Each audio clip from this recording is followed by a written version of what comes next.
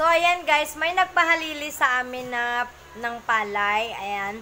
Uh, bali, last June, may nagpunta dito sa bahay magpahalili ng palay nila. Uh, bali, nagbayad kami ng 3,000. Uh, malinis na yan pag, uh, pagdating ng after 3 months. Malinis na yan sa at ano lang, uh, pagaling na lang yan sa amin. So, ayun, natapos kami.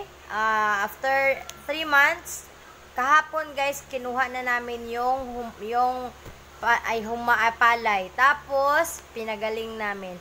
Nag, ano yun, na luma, ay, lumabas ng dalawang sako ng bigas at isang at kalahating sako ng upa.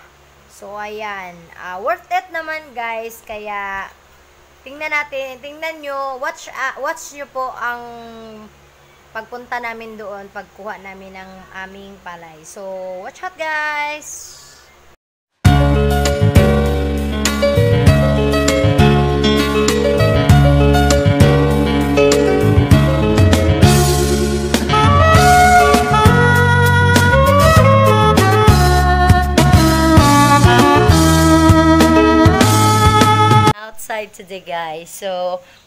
Kami doon. Kukunin namin yung bigas. And Matmat will going with us.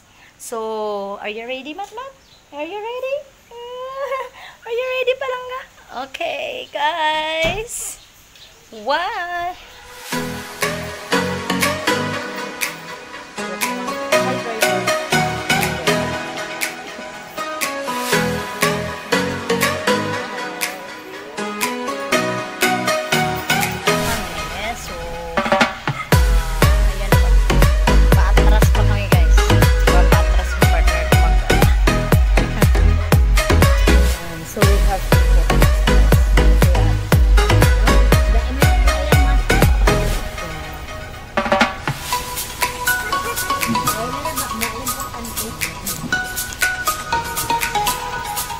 One. Matmat, ayun excited. Matmat!